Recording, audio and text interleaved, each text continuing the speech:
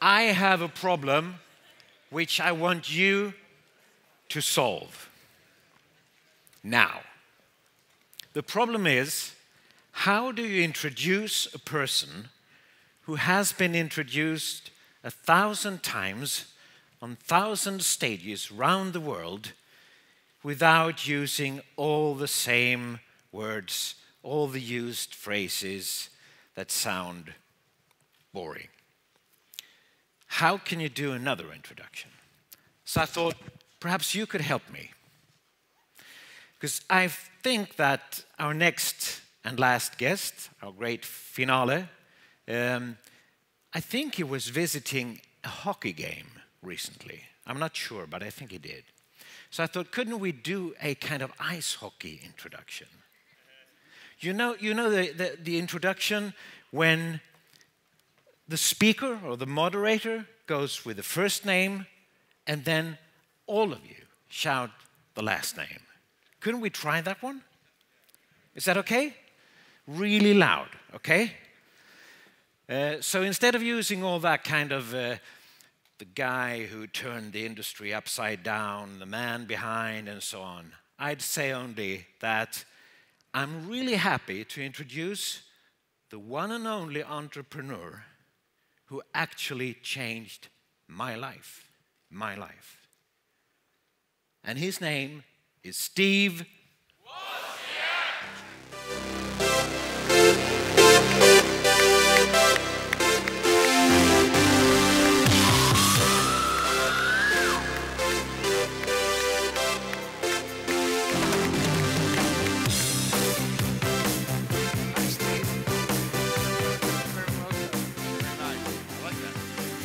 That's your seat. I hope you don't mind we used Van Halen for the introduction. Oh, that's okay. That, no, it's great. You like that? Headlined one of my concerts. yeah. Yeah. You had them But, as guests um, once upon a time. I liked I like doing things unusual, so good introduction. So I, forgot one first. thing. Forgot one thing. Uh, I, I didn't write down notes. I took your book instead. That's a good manuscript, isn't it? That's fine. Yeah? Yeah. Okay. I put off writing a book, writing a book. I like to live life, you know, and technology is changing, get the newest, latest. I put it off for 20 years, didn't write it until my last child graduated from high school and left for college, so I was all alone. Have you read it? Few of you? It's okay. Okay? It's a good book. It's a good book. The real story of the start of Apple. Now, Steve, today is April 21. In uh, slightly more than two months, it's June 29. That is a magic date in your history, June 29. Yes, that was um, Do you the best date I could recollect from my calendars that I sat down and tried a couple of pre-written called PROMs, chips with some pre-written code to um, allow me to type and would I see it on the television? Was my circuitry correct to put out all the te- analog television signals to show the letters? And I typed it that night. I was at my cubicle at Hewlett Packard, started typing in, and the letters were popping up on the screen. The significance was the board that I had invented and designed was very few, very affordable chips, parts. So it was finally, so it was affordable. I had a useful computer. You know, eventually I could write a programming language, BASIC, just like Bill Gates had done. And I did. And I wrote BASIC, and now I could enter programs for the rest of my life and be happy because you never run out of the next idea for another program. Plus, I didn't have to share a computer with other engineers at Hewlett Packard where I worked hmm. on scientific calculators. I didn't have to share a computer. I would have my own. Hmm. This was a big, it's, the moment I saw that, that was just total success. But they wonder now why this weird intro. Well, the reason is it was 1975. It's 40 years ago on June 29. Are you going to have a celebration of that? You know what? I, I pay less attention to man-made artifacts and dates and things like that. You know, I don't even. Oh, you're a understand- number man. Why do we have? Yeah, I'm a number man. Why do we have months? We should just have the day of the year. It would instantly tell you exactly what time of the year you're in, just as quickly as knowing that it is you know, June 22nd or whatever, you know, any June 29th, whatever the date is. Yeah, months were just a phony thing made up. You know, look at look at how uh, Julius Caesar for July, Augustus for August, Octavius for October grabbed days from February. And why do you count up to 30 and go back to one and start over? This is just okay. nonsense. Okay. Well, one of the reasons we don't have numbers for dates, the number of the year, is you couldn't do it in Roman numerals, and our calendar comes it's the Roman calendar.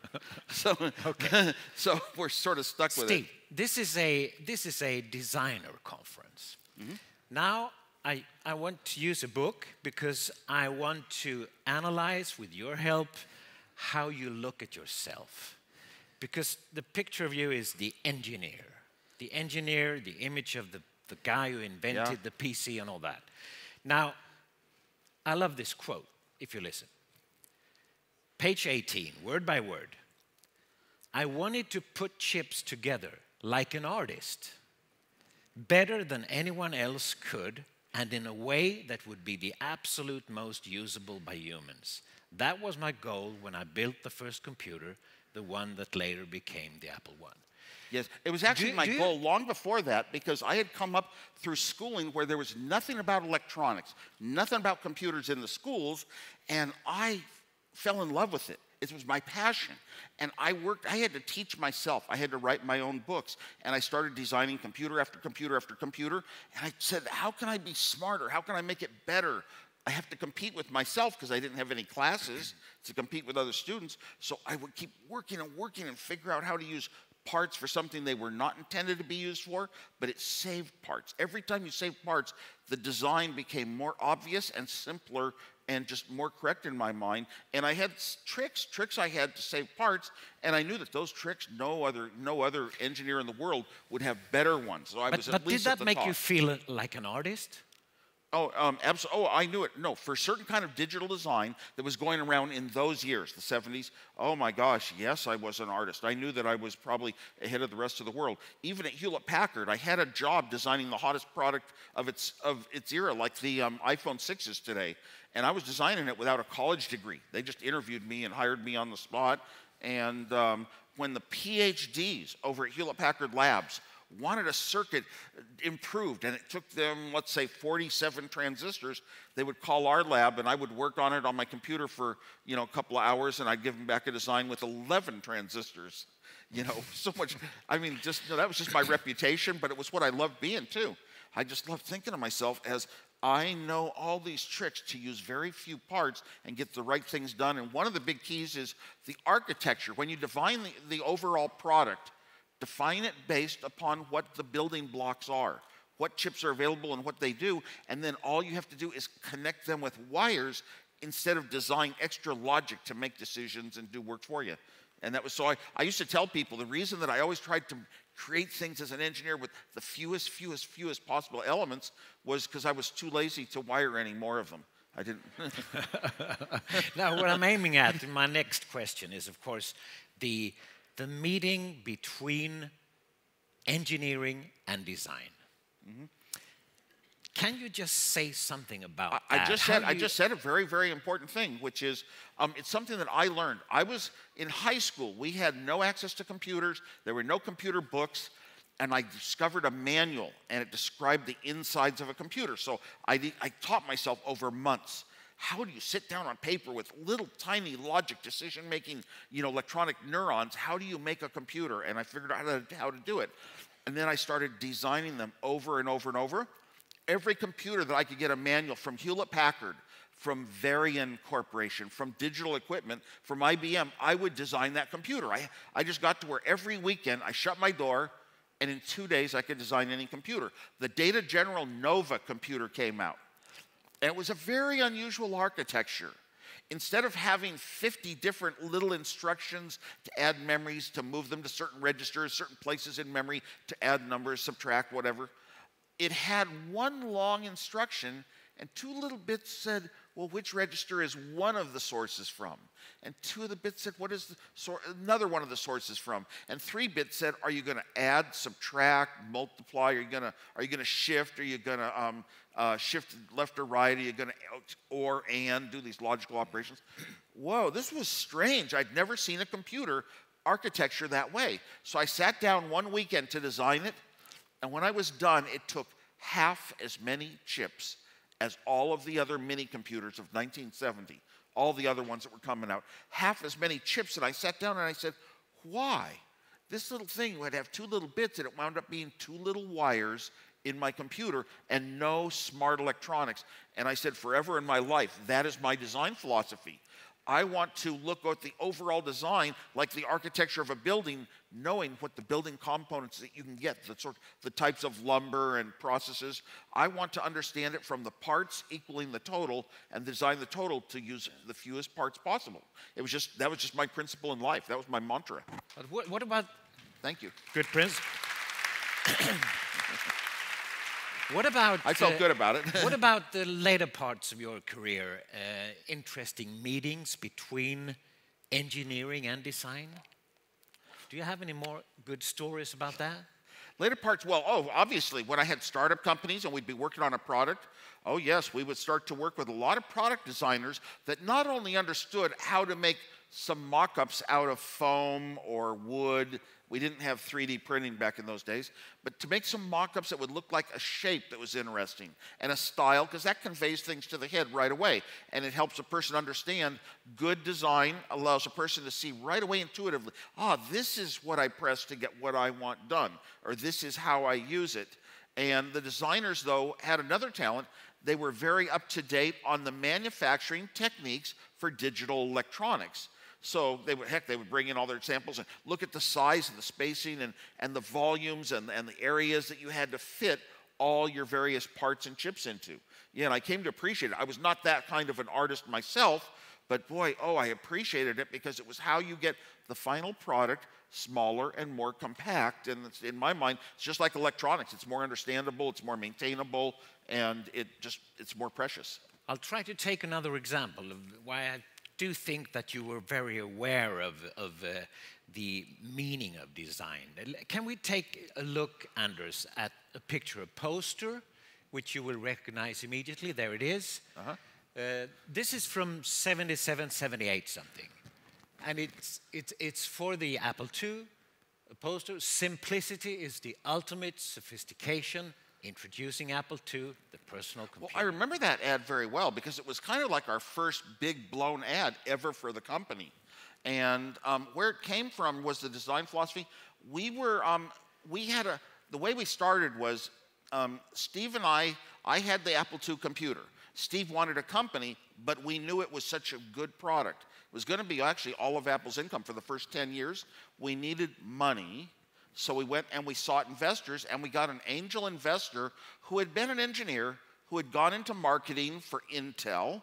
And he spoke about the importance of marketing. He told us how the look that you give on the outside of a box communicates the idea to the user of what's inside and why you have we to can be keep the professional. post a little more. Yeah.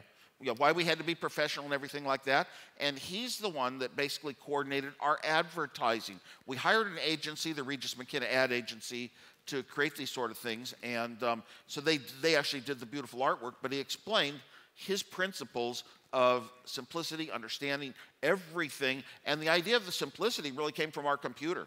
It was just so, so few parts and so beautiful for doing 10 times more than any other computer had ever done, for, especially in a low price range. So Mike Markkula is the person. He owned a third of Apple. We're Um, coming Steve to Jobs, him. myself, We're coming and Mike to him. Steve. Uh, I, I just, I just urge you, you could use that today. It's so up to date. This, this poster. Well, You absolutely. It's like, well, it's like the best songs. You listen to a song from 40 years ago, and it still applies today. it's, a, it's a principle, and that's absolutely true. And matter of fact, that's the way that almost every company really tries to think. Some have more luck and more success at it than others, and I would say Apple's been pretty much the ultimate. You know, in, in uh, simplicity about the design is so great. Matter of fact, the iPhone was such an incredibly great product because it's just one flat screen, no buttons. It's sort of like less disturbing things for the eye to even see and interact with. And it's that kind of simplicity, and you got to owe that all to Steve Jobs. He wanted the product for himself, so he didn't let everybody else put their two cents worth in and make it complicated. You know, same thing with the Apple II. I wanted it for myself. You know, I even look at things like the Tesla automobile, and Elon Musk wanted it for himself and his family and uh, and that's and everything about it, including the supercharging stations, were between his home in Southern California and the factory in Northern California, and those supercharger stations are now what makes the Tesla, you know, a viable electric car for everything. More than. But the, the principle is sort of like this ad. The principle of the Tesla is no sacrifice. You drive it just like you drive a gas car. You don't make you don't have to make decisions. You don't have to worry about things. It's got enough of a battery. You know, it's that's a type of simplicity in your life. You shouldn't have to think about technology. More than five years later, I work in the newspaper here in Stockholm, and I want to show you the tractor I used when I was working as a news reporter there. I have a picture on that one. That's five, six, seven years later. Have you seen this machine? I don't recall that machine specifically. Luxor ABC 800. Mm-hmm. That was um, obviously before Apple, though, because it has the big eight-inch floppy disks. Yeah. And um, yeah. I never. Is that a them. wonder of design? I never used them. Um, it actually is a very, very wonder of design. Yeah. Looking at it, it looks very beautiful to me for what that era was. You're polite. okay. Well, I don't know. The, the keyboard seems to have some good followable nomenclature. When you, when you consider the manufacturing technology of those times, that's about as simple as you could get something to look. Yeah. Okay, you mentioned Markkula. That's yes. one of my uh, questions. Now we're going over to the founding of Apple, the company Apple, which is in 76. Uh, and let's switch. Uh, well, there were the two picture. apples. Yep. There were two apples. One was in 76 and one was 77. Okay, okay. Here's the picture of the one you mentioned. That's 77. That's, the real Apple that, that started with the Apple II computer that was going to change the world. By the way, we demonstrated, hadn't demonstrated our Apple II computer that we knew nothing was ever like it. We demonstrated it before we ever shipped an Apple I, which was the first Apple. The first Apple was a little partnership with a hand typed agreement in a garage, kind of nothing very firm about it. And we transferred the assets of that Apple into the real Apple that was started by this gentleman, Mike Markkula. Yeah, he's, he was the investor, he owned a third of the company. He taught us, he was our mentor. He taught us the principles of marketing, of design, of um, and, and, that we would be a marketing driven company. He even taught us how you set up a technology company. Here are the roles that you hire people in president and you have you have you have um, uh, operations and somebody has to be handling the books and doing the finance and he explained to steve jobs and myself exactly what each of these roles and responsibilities of these various people were. So he's really the guy who set up Apple. Now you see, but, but, you never Steve, hear about him because he hired an ad agency, and their role was to talk about the two young kids who came from nowhere and worked in a garage. It was all kind of like a built-up and, story. And, and you, Steve, you seem to agree. You seem to agree that he was very important in the start of the company. Oh, but more than important. Why, why Mike Markkula was more than important in the start of the company. Yeah. He was. So why is that that he's so little mentioned and the focus is so much on Steve Jobs and you? You know, that's the way he wanted it. Mike is the one that took us down to the Regis McKenna ad agency and you know helped us. We we held on to the name Apple Computer. We had to fight them for a while, and we they selected a logo for us, and they were in charge of all the publications that would introduce us. But Mike Markkula really was the guy who ran the company and taught Steve and I how you set up and run a company. Now, Steve didn't have any executive experience, so his role was defined by Mike Markkula as being work with everybody at the top level decisions of a company and learn how it's done, you know, which Steve did incredibly well. Mm. Although Steve didn't have any execution successes until he returned back to Apple. He was unable to execute. He could have ideas and vision and, and communicate well, but he was just too rushing and couldn't build the right products at the right price at the right time. If we still stay in that period, 76, 77. Yeah, so by the way, what I just mentioned was marketing failures. and Mike Markkula, he's the guy responsible for marketing. why, why, Steve? Why were you and Steve Jobs such a good combo by the time? You know, um, first of all, we, we brought the different critical elements. I brought the incredible design talents, and I had wanted a computer my whole life. I was going to design, as soon as it was affordable to build a good computer, I spotted all of the right parts and the pricing coming in, new devices, and as soon as that was possible, I was going to build it for myself. Just no other reason at all. Remember the Apple One, I gave it away for free at the Homebrew Computer Club, and Steve Jobs hadn't even seen it yet. So I was going to build that computer. The fact that it was valuable is sort of an accidental part of history, and everybody says, "Oh my gosh, you, you, know, you brought us these things," and I'm a symbol because people want symbols. But there's so many, there's tens of thousands of people that did as important and good work as I did from then to where we are now. Um, so I forget what we were talking about, but the start of Apple. Um, you know, but it was no, it was it was no, it was pretty amazing. We we thought we were going to change the world quite a bit.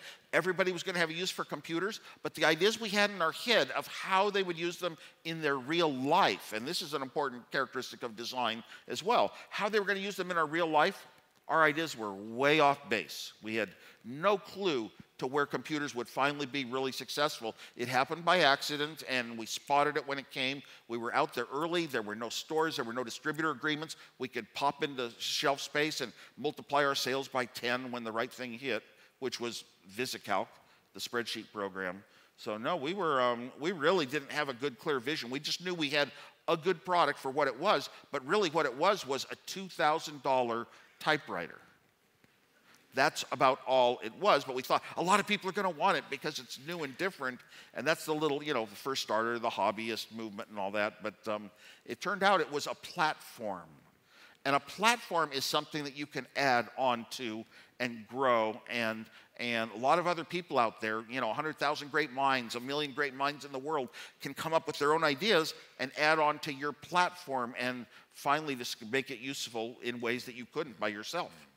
Yeah, but Steve and I, we were just so I was the I was the inventor totally. Um, did all the hardware, all the software, all the construction, all the testing, all that myself. And then Steve just basically his his motive his the reason we were good. He wanted a company. For five years before the start of Apple, we had a regular pattern. Steve would come into town about once a year and he would see the latest thing that I had created for fun, maybe a video game or whatever, and every single time he turned it into money and we shared the money. So we made a few, few hundred dollars here and a few hundred dollars there because Steve had zero money. That's a good point to remember. When you are when you don't have many resources, you are forced to think and come up with ways to achieve with what you have. It forces you. The best things I ever did in my own career were because I didn't have any money myself. We didn't have any bank accounts. We were in our young 20s. We didn't have any rich families. No, we had no money at all. So the best things I did was I had to figure out ways to make things affordable. If I couldn't afford a computer, I had to build my own.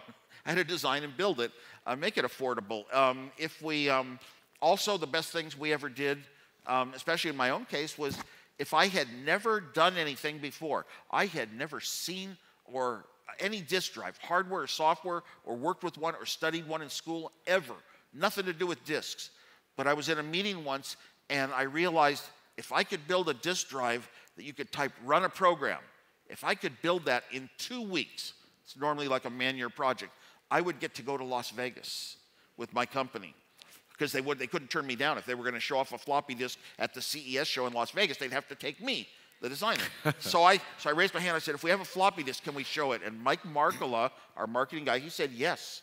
Oh my gosh, in the back of my head, I've got to figure out how, to, how you build floppy disk drives. The advantage was, you know what? It's really good. If you have a good mind, and this would apply to any designer in the audience too, if you have a good mind and you can sit down and think out how should it be, I'm going to write the steps down. I'm going to write my own book rather than reading books on how it's been done in the past. If you have a good mind, you'll come up with a very, very good way. And I came up with an incredible, one of the best designs of my life for the floppy disk. Got it working in two weeks. You could type run checkbook, and it would run the checkbook program. And I got to go to Las Vegas. okay, Steve, I want to go. So that, I want to thank you because you know what? Motivation is sometimes more important than knowledge. If you and I want, want to go to back further in your history now, uh, talking about motivation, because if you want to be that innovative and energetic as you are, you need inspiration. And I've tried to track where you have gotten your inspiration from, from the very beginning. If I read the book again, it's obvious that your dad was very important to you. But I also found another guy whom I think was very important to you. And I have a picture of him. Let's see if you agree. Oh, Tom Swift Jr. That's Tom Swift. The and books can, I read. You can change to the next picture as well. and Right. tell us all about what Tom Swift, who Well, he was, these, and these what are, that meant. These books are older than what I read.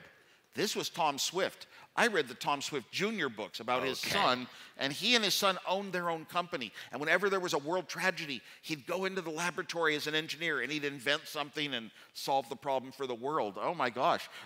Myself, in our neighborhood, it was Silicon Valley was all fruit orchards as far as you could see, and they were coming down. Little housing developments were going in here and there, and you'd have to ride your bicycle through fruit orchards wherever you went. But half the kids in my neighborhood were had electronic parents that were moving into work at Lockheed Space and Missiles Corporation. The only about the only company in the world that could actually afford these expensive things called transistors and chips. And so my so I was one about half the kids were electronic kids. All the electronic kids in my neighborhood chose to read these Tom Swift books every week and then all the girls read some books called Nancy Drew and all the boys read these books called The Hardy Boys. But me and my electronic friends, we always liked the Tom Swift Jr. ones because he solved problems with electronics. Oh yeah, it made it very, very important And in my this mind. was when now, you were- I'm not gonna I'm not gonna say that was my big source of motivation. It was certainly something that went along But with my life. inspiration, probably, But yeah. you never know. You have feelings in your side. How did I get to where I got? And you can you'll look back in your life and you'll find a bunch of steps. But you know what? You're guessing, and there's a thing called attribution error. If you feel something inside of you, you'll look around, look around, try to pin it down to some things that you can spot, but they aren't necessarily accurate. Hard to say. I had a huge life of a lot of electronic and a lot of computer experiences, and they all added up to where I got. So, So- but that, that book was very important in its day, man. I remember when I was, you know, even seven years old, we were we had we kids had to get our lights out at a certain time, and there was a street light right outside my window, and I didn't have any drapes. The street light would shine in the window and land on one place on my floor. So I'd lay the book down on the floor and lean over the edge of the bed and read it while I was supposed to be sleeping. Those books were, yeah. So, what about a few words about your dad? Because he also meant Yeah, a lot to you. I was lucky that I had a father. More than anything else, he was a very good patient teacher in life. He didn't try to impress his values and say, This is how you should be. He would point out the way different people think about things in life and let you choose your own. And I sort of always tried to choose to be kind of in the middle. It's about where I saw my dad. But whenever I had um, an interest in something, like how do you make a transistor make a decision about a game like tic tac toe? He would pull out a blackboard, he would explain it. He was so patient over and over. He'd make sure I understood where every electron flowed, and he'd help me do something I wanted to do every time. And uh, that, that was a big influence on me, the way I raised my own kids. And I spent eight years as a teacher. I, I, I decided early in my life that I wanted to be an engineer, but second, I wanted to be a teacher of young primary students. And I wound up teaching for eight years, kept it secret, no press. No press allowed in there. And it's because I wanted to so badly. But I, I took my, I remembered my father's patience a lot. And I also remembered things like my electronics teacher in high school wrote his own handouts for every class. He didn't use a book and just teach by somebody else's book. He wrote it himself, knowing us, knowing our equipment, knowing where our heads were at. And so when I ran my computer classes, how to use computers for every subject in school, I always wrote my own my own lesson plans, wrote them in in the morning, and had them printed on color printers by the time the students arose. So I got a lot of good things from the best teachers of my life. Yeah. Now, you said that you were a teacher for some years, and in my view, you are obsessed by teaching and learning and studying through your whole life. Yes, I paid a lot of attention in psychology classes to how a child's mind developed. I even, wow, said it's a lot like a computer. Very young infant, will their eyes follow, follow, you know, a, a finger or not at a certain number of weeks old? You know, it was like computer development. And um, but I wanted to be a teacher. The more important thing is I, I knew who I was from an early age on, and I liked that person, and I had very strong internal um, moral and ethical guidance, my own compasses. And you know, when you, you have a big success like Apple Computer, usually, oh my gosh, all you've got to do now is, is work on increasing your wealth and increasing your power and running more projects. And I didn't want to be, I was non conflict. I don't want to be political. I don't want to push people around and force them to do things my way, even. So, you know, so I was able to eventually go back and teach secretly for eight years like I'd wanted to. I got where I was teaching seven days a week.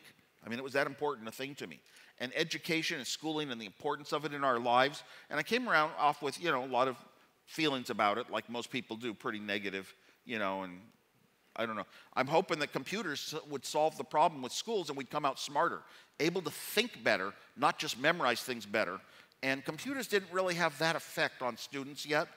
So the way I look at it is I'm not going to take today's environment and say in today's environment, now we have all, all of our online, you know, online courses and all that, like uh, Khan Academy. Um, not take what's here today because there's a million other people that could think out and say, this is what we need, this will improve education, here's how it will do it. I, I have to look at, I try to look at something that doesn't exist yet because then I'll have my own ideas and I like to be very independent and not strung with other people's ideas. And the only thing I've come up with so far where computers might help in education is if a computer gets conscious and becomes your real true best friend, it might be a guidance guide you. And then if we can have one teacher per student someday, every student at an early age, it's kind of like your third year of college, every student can go in the directions they want to go, but they can go as fast as they want. Or they can avoid the ones that they don't like. And so I'm, I'm open, maybe, and I don't know if that'll work and make us think better, but maybe it will. It's where, you know, it could come someday.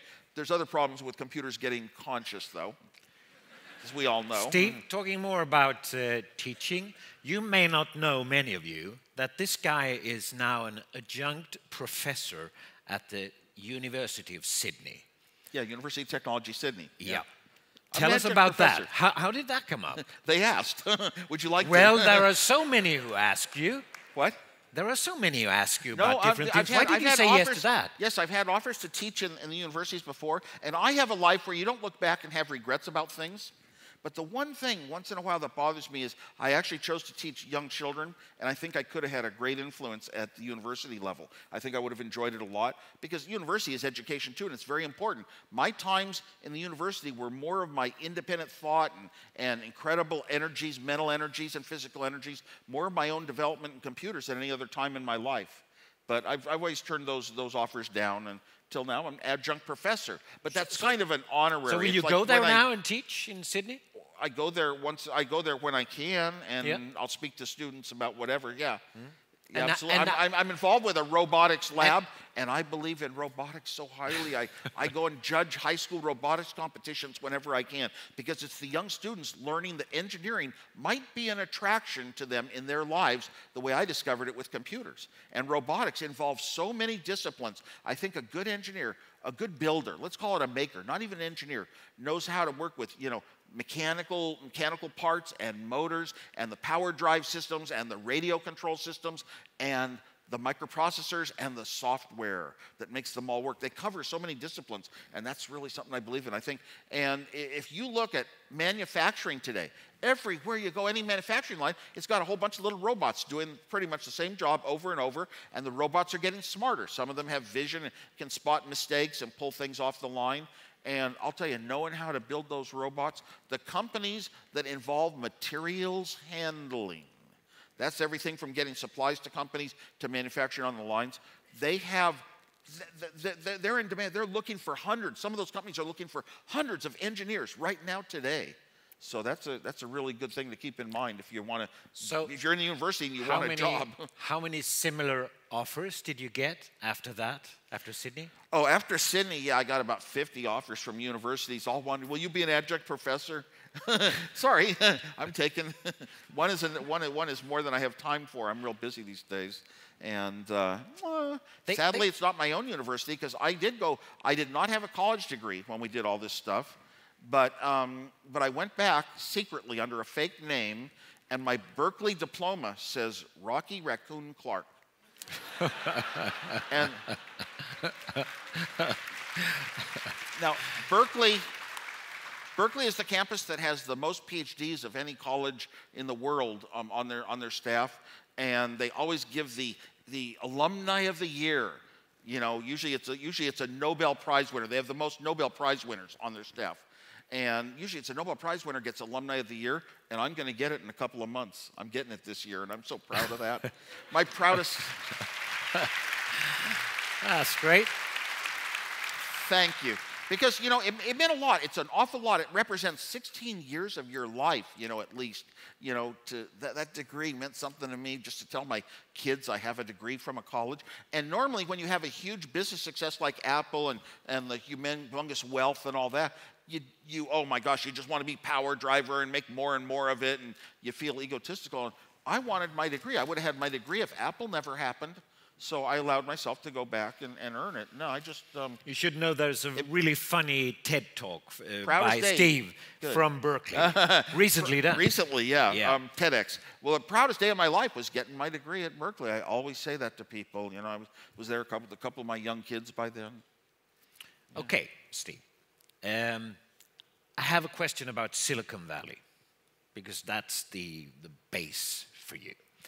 Uh, this very day, April 21, the Swedish Minister for Enterprise is visiting Silicon Valley because he wants inspiration and he wants to copy ideas and he and so on. And you meet regional or national or local representatives all over in Europe, and everybody wants to be like Silicon Valley. What's your take on that? Um, everywhere I go in the world, every major city wants to figure out how can we replicate Silicon Valley. Silicon Valley just had an early start. Everything we have today, the smartphones, the big computers, they all boil down to certain chips that have gotten bigger and with tens of millions of parts, tens of billions of parts on the chips now. And they all date back, those parts, tens of billions of transistors. What is a transistor? I like to describe it as an electronic neuron. The more transistors you have, the smarter a device you can build. The first transistor was invented, and one of the two inventors flew out and set up a, set up a business in Sil- what became Silicon Valley. He set it up in Mountain View, California, Shockley Labs. He had problems building the device he wanted to build, so some of his engineers left and formed another company, Fairchild, to build a simpler transistor. And then other people would spring out. There were spin offs. These companies would have spin offs. Today we call it entrepreneurship, and it's even open to young people just out of college. But back then, back then it was only professionals out of business starting a similar business. Silicon business grew up. Who was to know that because of Moore's Law, silicon and chips were going to be the prime driver of the lifestyle that we have today, the products that we have. Who was to know? But this valley just grew and grew in economic importance and you know became one of the more expensive places to live in the world and um, among other bad things. But I mean, but, back to the to the to the to but the everybody question. wants I'm everybody from... wants to get there, and I say it has to be it has to grow organically. First of all, you'll have some business successes in a place like Sweden, and those should be praised. They should be noted any, any efforts to help them even publicize what their story's about. Young people hear these stories and say, oh my gosh, 10 years from now, when I'm ready, I want to be one of those people, you know. Um, that's, that's very important to do. Motivation, again, is one of the most important factors. Um, but don't just say, well, what do I do in Silicon Valley? You go to Silicon Valley, and, and most of the people you run into, 43% of the people work for technology companies. And they're always talking about the newest idea and the latest product and how can I start my own company. And there's so much of that spirit. And that's good for economy, it's good for a lot of startups. But after a while, it just gets boring and away from the life that we used to have. You know, so it, like there's a the, balance. From the region I come from, it's from the Copenhagen Malmo area. They keep on talking about this all the time. We want to copy Silicon Valley. It's yeah, everybody possible. wants to copy it, but I think it's got to grow up naturally, and I think it's going to spin out of successful businesses, whatever field they are in. Those successful businesses should. Um, it's, it's the idea you should have things set up that it's pretty easy to spin off and do some related product, but a better idea, a newer, better idea. And, um, and eventually, you know, if you have an area that has a lot of these spin offs, and they're successful, then the money follows. The venture, the venture capital built up in Silicon Valley ahead of the rest of the world because there were so many spin-offs of transistor companies and chip companies and new ones, and they were having such success. It just became popular. Let's invest money. We know this business. We know it's going to grow because of Moore's law. And so we built up this huge venture. And I go to a lot of places in the world, and the money just isn't really available for these startup risky ideas where a lot of them fail. I will soon open up uh, the Twitter flow. If you, if you have questions to Steve, uh, Annika will take care of them, and we can come up with two or three to Steve. Um, now we're changing theme again, waiting for the questions to come in. I read this interview in, I think it was an Australian newspaper, where you talk about the future. And there I suddenly read that Steve Wozniak, the big inventor of the Apple computer, the tech uh, nut, he is scary about the future. More than that, I kind of regret my part in it sometimes. Um, Why are you well, scared?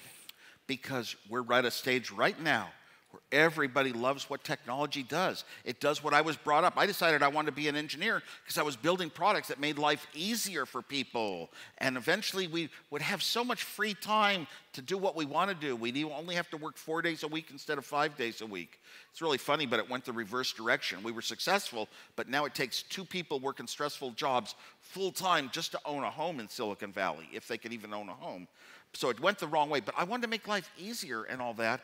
And now we've got these products. We're mobile. We have it with us anywhere we are. It's like I am so much more powerful as a person. Every time I use a third party app, you know, somebody made my life better. What would I have done without this app in the old days? It's scary. How could I go go on with my life if they suddenly cut it off and said, no more internet, no more phones, you know, no more smartphones? No, we love our products today. They're helping us be more stronger as persons. When I started Apple, I came out of a computer club, and the whole idea was we are going to help people be the masters and be more powerful than ever. The little, the little guy, the, the, the, the geek who is nothing in his company, he's ignored, he, he's not even important, is going to take his own computer into his company, type in some financial numbers and turn out some results, and he's going to be a hero. You know, that was important to me to empower people to be the masters of their own fate. And the trouble is, is we get if the computers ever get, they're getting closer and closer to real thinking.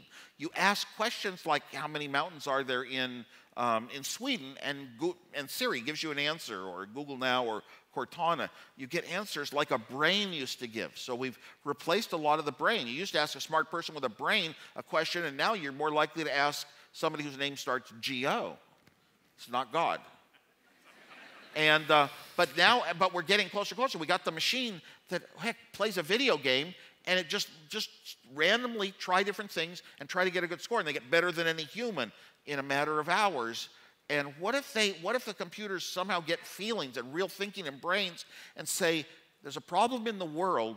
Here are the possible solutions, and I'll pick and I'll choose the best solution for it." But what if they can think ten times better than a human? What if they can think 100 times better someday? This is um, all of a sudden the, what use do we have for our own brains? And yeah, it's a scary thought if that happens. It might be delayed. Ray Kurzweil talks about singularity maybe 20 years from now. I like to say 20 to 200 years because there's a lot of uh, groundwork and infrastructure in the way humans deal with things, even person to person, that can't be replaced with every computer directing other computers what to do. That's, that's sort of the end game that's be very negative. Then we're just what we want to be. We built all this equipment to take care of us, and we don't have to do anything, and it all takes care of us, and we're the family pets. So I started feeding my, I started feeding my own pets filet steaks and barbecued chicken when I got this idea because I'm going to treat them the way I would want to be treated when I'm a pet someday. thankfully, thankfully, in my, my prediction, it won't be in my lifetime. I said 20, some, some people might say 20 years from now, I say 20 to 200 years. In 20 years, though, it might be illegal for a human to drive a car. See, we're more. Every Internet of Things device that we build, we don't talk about just building a little dumb thing that you can check on a, status of a light at home. We're talking about devices that are smart, like the Nest thermostat. You walk, it notices your patterns and adjusts itself accordingly. What it's doing is taking the necessity to think and do things away from the human, but we'll never ever give these devices up. Have we ever given up a human, that, uh, a machine that replaced a human? No. We got all the machines in manufacturing, we'll fire the humans. We'll never ever get rid of the machine that gives us cheap clothing, for example. Um, so I'm afraid that the computers might have won, the machines might have won 200 years ago. And we just keep creating them thinking we're creating the stuff that helps us but uh, eventually, yeah, it could supersede us. And that's a scary thought if it happens. Can we control it? We all think, oh, we're gonna, we're gonna, we're in charge. We're gonna just make the machines, the computers of the future, understand that humans are the most important. You know, and certainly if we're creating a new species, we're the gods. But I do not believe once they're thinking for themselves with independent thought, that goes away. Now, why did I think that everything in the world might be computers talking to computers and skipping the, the people? Okay, the biggest, the way you measure the, the um, progress of the world more than anything else is in dollars, currency, money.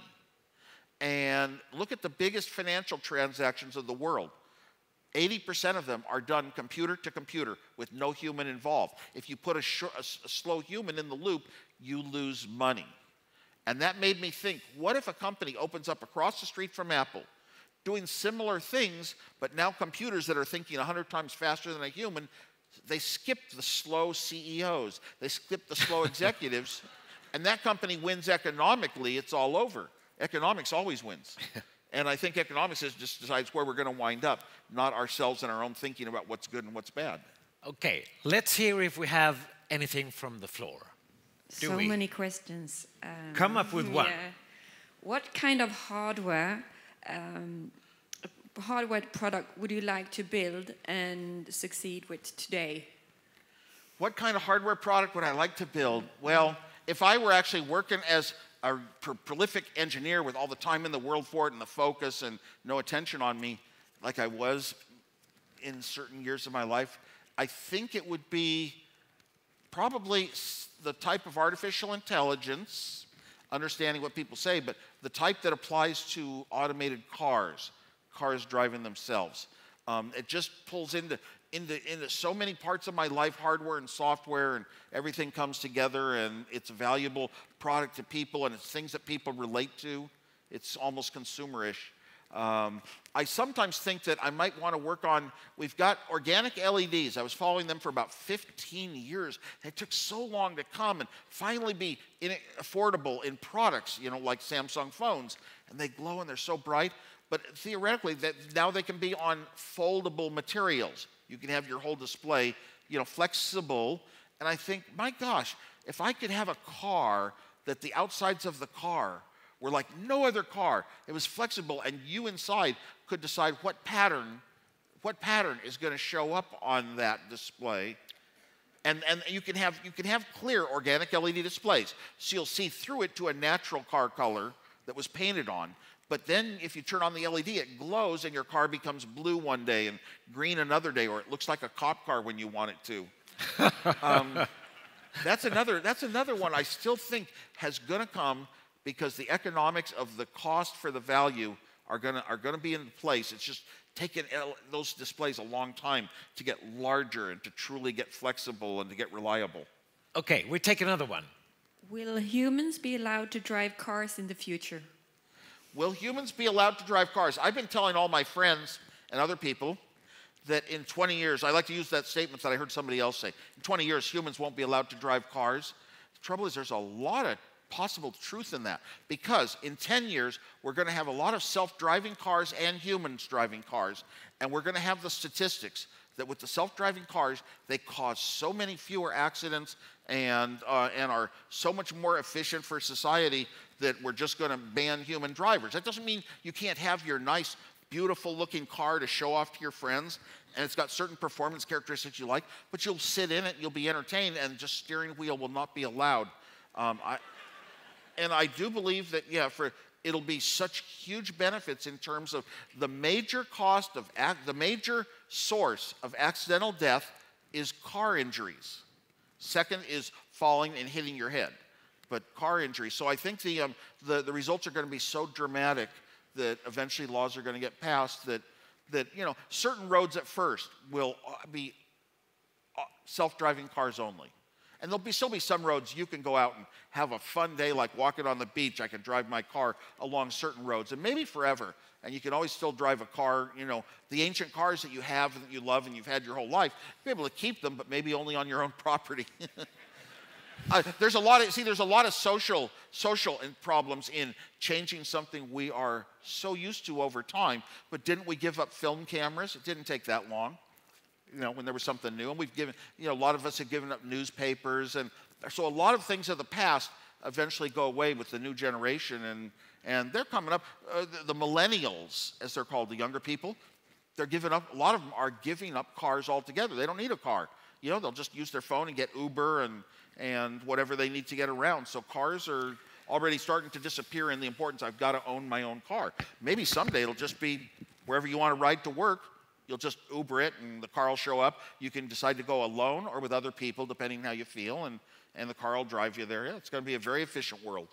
And I, I'd say Okay, every car manufacturer in the world, I'm going to guess this, is working on self-driving cars right now. And I could be Sure, wrong. There could be a sure. couple that aren't, but I hear one after another, after another, after another, and they're all sure, sure thinking about it because nobody wants to get left behind by the future. Nobody wants to get um, disrupted, let's say, put out of business. I heard another one uh, from the floor from two people, so I passed that on. By, by the way, the self-driving car Why- gives a lot more design choice. Why did you leave Apple? Why did I leave Apple? I left Apple two times. One time I, I was on the Macintosh group and I had a plane crash. I came out of amnesia, what they call short term memory loss. I came out of that forward amnesia five weeks later. And what went in my head was it's been 10 years since my third year of college. This was the last chance I could go back to school and get my degree. The Macintosh group was in very good shape. They had a hardware designer who had been a technician who never went to college, studied every little thing that I did. I taught the technicians at Apple, and he had come up to being able to design with as few parts as I did, all the same techniques. So I called Steve Jobs. And I said, the Macintosh is in the best hands, the most creative hands. My best friends in Apple are doing it, and it- it'll be, do fine without me. I'm going to go back to college and get my degree. So I left. I left and did that. And then But when the I came second back, time. The okay, second the second time. I came back to Apple as an engineer, and I'm working on some products that became the Apple II GS, the most advanced version of the Apple II with you know color and mouse. You know, at the same time as the Macintosh. And but then I um, I got this idea. I like I don't like big huge companies. I don't like structure. I don't like having to follow a lot of procedures. I like being an inventor. Get an idea, go in, test it out, and build it yourself, and convince other people of it. And that's more like a startup. I like startups with just a few, a few close friends. Here's an idea. Let's go and try it. Let's go make this new thing. And I got an idea for the first universal remote control, and I started a company and we built it because it was just a small startup. That's what I loved. I remained on the Apple payroll both times when I left Apple, even to this day. I'm the only person who's been on the Apple payroll every week since we started the company. I get a little, it's a tiny salary, but I want to be, it's a token to It's not huge, And that I almost have no communication with anyone at Apple ever, but they um, invite me to the, the top events. They don't forget me, but boy, they, they don't fire me. one, one year after Steve Jobs died, Okay. and, and that means that means a lot to me. One year after Steve Jobs died, my wife was working for Apple Education, and she went on the internal computer at Apple, and it said that I was still reporting to Steve Jobs. So I said, "Good, I can't be fired." Steve, uh, you have underlined many, many times in your life in the book that it's important to have fun. So I have a couple of questions which are on the theme of is it really true that? For example, is it really true that you, as a young kid, decided to call the Pope and almost got through? Yes, I built a device that could make free phone calls anywhere in the world based on articles I'd read, research I did with Steve Jobs. Oh my gosh, and I designed it. Steve Jobs never was an engineer. He couldn't design anything, he couldn't write software. But I designed it, and this was before software, it was all hardware. And it could make free calls. And Steve Jobs, we were showing it off in the dorms in Berkeley, and Steve Jobs, because we, we, we told our parents what we were doing. It was a principle of mine to, if, even if I do something illegal and wrong, I will tell my parents what I'm doing so they'll, they'll trust me. The parents, our parents both said, don't use our phones. so we're in the dorm, we're in the dorm, and Steve says, we could sell this. What? We could sell it for 150 bucks. That was a lot of money in 1971. $150, it cost me 75 to build them, you know, just for, you know, the few little chips in it. And uh, so we got in business and we sold them. But every time we did a sale, we'd arrange with a group of people that we thought were kind of cool, not going to turn us in. They weren't the, the police minded type people, you know we'd, we'd give a demonstration at night and we always had them recording it and so one time we were in this one guy's dorm room trying to demonstrate the blue box so we'd get a sale and i just thought of calling calling italy inward asking for rome inward and then asking for the pope and they said well it's 5.30 i said i was henry kissinger I said I was. I said I was calling on. I was with Richard Nixon at the summit meeting in Moscow that was going on. This is early 1972. And you I- sounded like Henry Kissinger? no, I didn't sound like him at first. And then they said the Pope, uh, it's 5:30 in the morning here. Um, I said I'll call back in an hour. So I called back an hour. I used a little bit of an accent the second time. You know, I wanted to sound like maybe I was Henry Kissinger. and uh, and so oh, I got up to the, talking to the bishop who was going to be the translator, and he said I just spoke to Henry Kissinger. oh, okay. okay. okay, I have another one. Is it true? But there is a basic uh, check, fact control first. Um, this is a favorite question I got from a girl who works in an Apple uh, store. I said, "You've got to ask this. Do you happen to know a man who's called Evets Kainzow? um, Evans Kainzo. I have had a lot of fake names in my life. We just brought out one, Henry Kissinger. I'd forgotten about that one. And I was doing blue boxes, so I was Berkeley Blue. Well, when the Game Boy came out in the United States, it shipped with a Tetris game. I didn't know what Tetris was, and I was wasn't going to play it. And my young son told me what a Tetris was, how you get some points. And I started playing it with friends, and, and I was getting higher scores than them eventually, and getting real good scores. Nintendo Power Magazine publishes the high scores in the United States. So I would send in my photographs. You had to take pictures and mail in a photograph of your high scores. And I was always at the top of the list, month after month after month. And people were kind of well behind me. I was like number one. And finally, Nintendo Power Magazine said, We're not going to print your name anymore because we want new people to have a chance to get their names in. And then Evets Kainzow So comes in. I so what I did was I, I spelled my name backwards. Steve became Evets. Wozniak became Kainzow. So I sent it. I sent in my score as though it were from Evets Kainzow, and I said if I send it in from Los Gatos, California, my city, they'll think it's the same city. They'll they'll they'll catch me. So I used the next city over, Saratoga, California. and there you was on top of the in. list. Well, here's the problem. The next month when the magazine came out, I had forgotten that I had done this.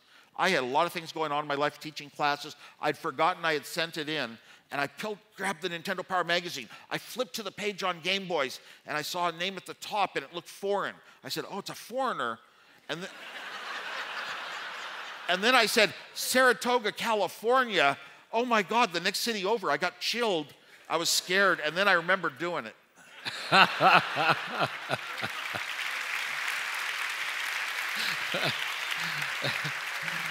Yep. Okay, and I actually have a copy of that. So it was true. So it was true. It's true. I have a picture of you when you're having fun. Can we show that one? There. You're a real Segway fan, aren't you? Pardon? You're a Segway fan. I'm a Segway fan. It's a big part of my life. Um, when it came out, it was going to change the world by being local, low cost transportation like bicycle racks are now. It didn't go over that way, but to me, it's enhanced my life because if I want to go into town for entertainment, for dining, for shopping, all the normal things, hop on my Segway in the, in the, in the living room, go right out the door, go down. I'm in town. I go down the hill and I'm in town in 10 minutes. I'll park my Segway at the, inside the movie theater and watch a movie, and then I'll ride the Segway back home. It's so much more pleasant than a big, huge car. It is, it's almost like I get to ski, in, ski into town whenever I want. I also carry, my wife and I carry two Segways in the back of our car. For 10 years, I drove a little Prius. It had all five passengers plus two Segways. So we'd stop anywhere, a new city. We'd like to drive a lot. Go to a city we've never been in, pull out the Segways, and we'd zip around and learn that city so well because it's you can't walk enough to learn a city and driving you're just looking at streets and you don't really get the landmarks and the layout very well so that's a big part and we play segway polo right now the segway polo championships there's one going on in um, You're actually playing? the, the, you I are playing the Swedish Segway team, polo? The Swedish team often wins um, the, the world championships. Even they're um, they're real good. A matter of fact, on a bet, I lost uh, one of the first iPhone 4s I think I had with me, and I lost it to a Swedish player because I didn't think they'd win. I bet him you have to win. they did. um, no, it, uh, it started out. Segway polo is a sport that's a lot of fun, like you think it would be, hitting the ball and getting through loops. We, our team in California, the Silicon Valley Aftershocks, defined the rules of the game at first and the, the, the equipment of the game and a lot of court sizes and things like that. Then we play. We got five teams in California, and then we played a team in New Zealand a couple times. And then there was a World Championships in Cologne, Germany, and Barbados won it that year. But now there were a lot of European teams. We in California were nerds. We don't play that well. And uh, the rest of the world had athletes, and they were really superior. So uh, I think last year's was in Washington, D.C., and it was sponsored by the Lebanese team. They wanted to do it in Lebanon, but they said our Jewish members would get killed. So, so we did it in Washington, D.C., and this year it's going to be in Cologne, Germany. I think it's this um, July, and I'm going to be there. I'm going to be playing for a German team because the California teams have That's kind great. of filtered to Great. almost nothing. Steve, we're soon gonna gonna wrap up our conversation, but um, I want to show one more thing because this this uh, this session has really been about doing it the was way, isn't it?